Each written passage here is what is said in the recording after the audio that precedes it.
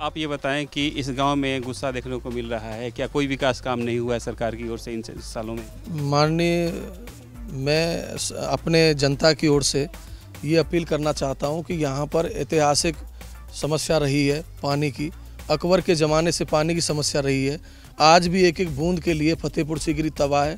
चालीस गाँव हमारे विधानसभा में ऐसे हैं, जहाँ पर आज भी खाने के लिए आने वाले समय में खाने के लिए भी मुहताज हो जाएँगे। अकबर के समय से ये समस्या रही है पानी की तो इसका जिम्मेवार जो है वो कौन सा कौन सा व्यक्ति है या कौन सा शासन रहा है? आज तक जो किसी भी जनप्रतिनिधि ने आवाज़ उठाने की कोशिश तक नहीं की। आवाज़ तक नहीं उठाई। शुरू से नाइंसाफी हुई इस गाँव के साथ। आज तक ये तो कोई चीज़ बताने की नहीं ये तो हर जनप्रतिनिधि जानता है इस क्षेत्र का विधायक जानता है सांसद जानता है। उनको कम से कम अपनी आवाज़ तो रखनी चाहिए अपना सवाल तो उठाना चाहिए।